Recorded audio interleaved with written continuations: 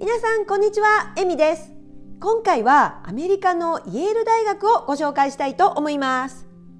アメリカコネチカット州にあるイェール大学はニューヨークから電車で約2時間で行くことができキャンパスは一般に開放されているため日帰り旅行や週末旅行先として人気の観光地になっています。イェール大学は植民地時代の1701年創立。長い歴史を持つ世界屈指の最難関の私立大学として知られていてアメリカ東部の名門大学群 IB リーグに所属する8大学のうちの1校です。IB リーグとは私立エリート大学グループ8大学の総称であり日本でいう早慶上智関関同率マーチなどの難関大学グループ名のようなものなんです。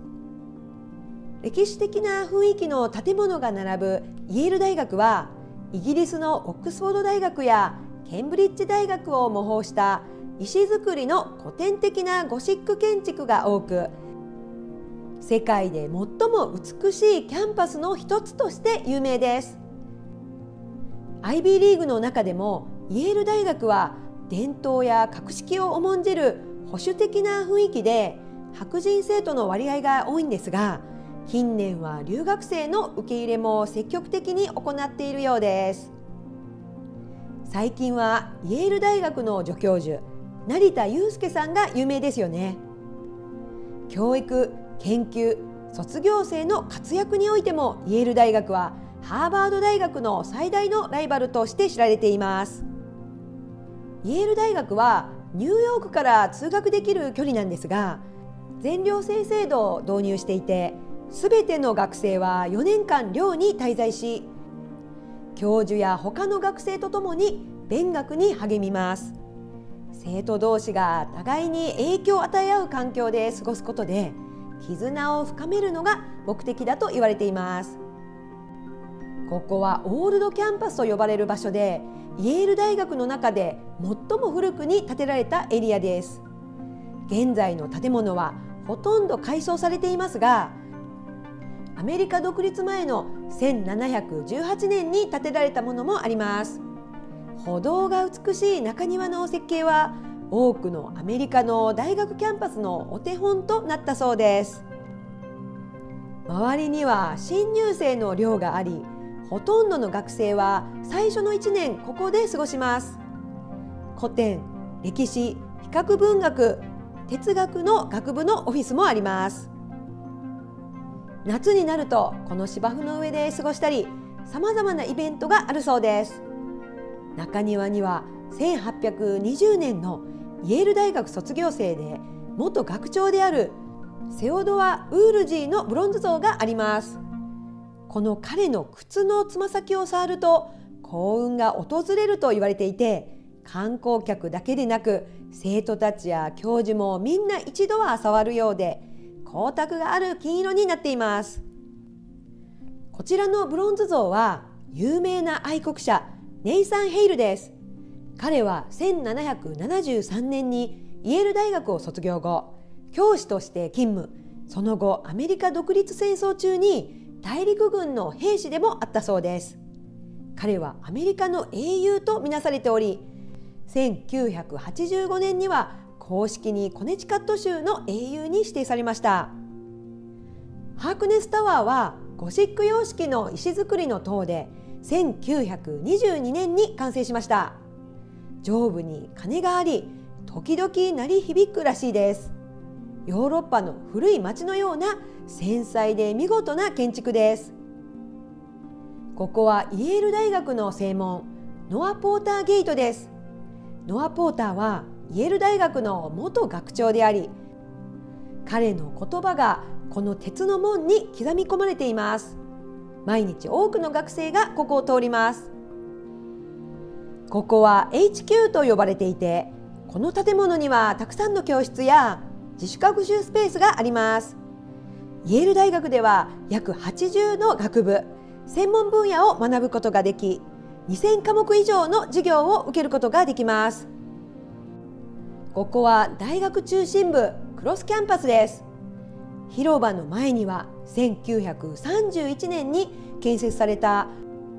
巨大なスターリング記念図書館とバス図書館があります。イェール大学にはたくさんの図書館があり大学の蔵書数は1100万冊を超え大学図書館としてはハーバードに次ぎ世界第2位の規模なんです。イェール大学で最も有名で素晴らしい図書館といえばバイネキー図書館です。一見地味な建物なんですが実は壁面がガラスと大理石で覆われていて50万冊以上の本が保存されています。中はびっくりするぐらい豪華でスタイリッシュな本棚が中央にあります。なんと本物のグーテンベルグの聖書や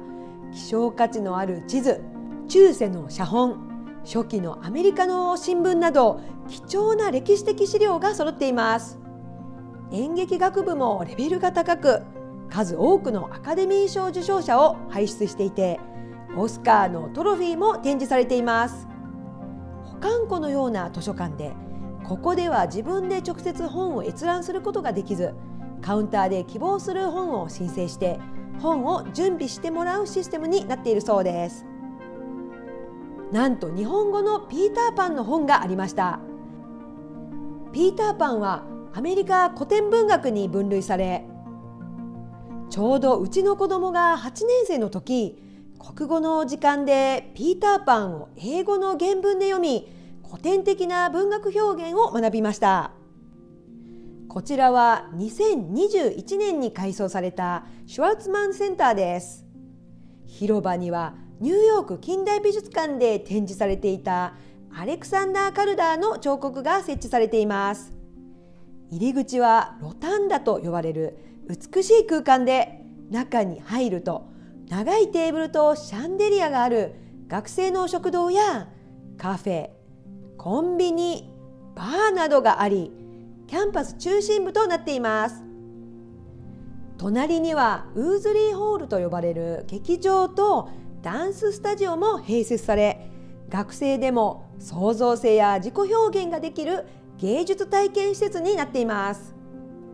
正面のシェフィールド・スターリングホールにはセミナールーム講堂があります。11階建ての塔と鉄骨で装飾された窓ネオゴシック様式の建物の外観が特徴です。ここはサイエンスヒルといって理系学部生物学部がメインのキャンパスです。クライン生物学タワーはイェールキャンパスで最も高い建物であり中には教室実験室カフェなどがあります。丘の手前にはイェール大学を象徴するアイコン的彫刻があります。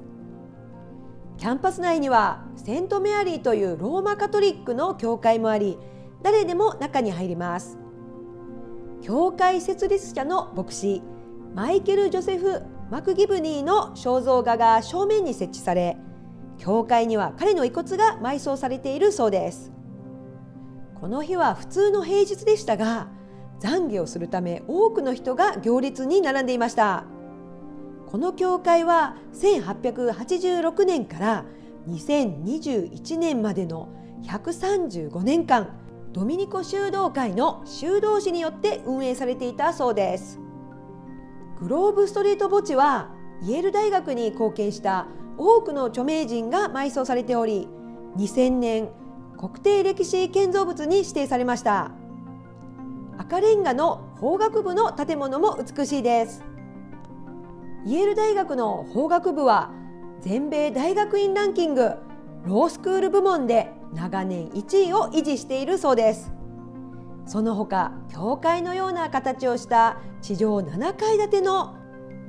ペイン・ウィットニージムと呼ばれるスポーツ施設や2つの美術館自然史博物館もあり町全体が学芸都市という贅沢なキャンパスです最後までご覧いただきましてありがとうございました。また次の動画でお会いできれば嬉しいです。それでは失礼いたします。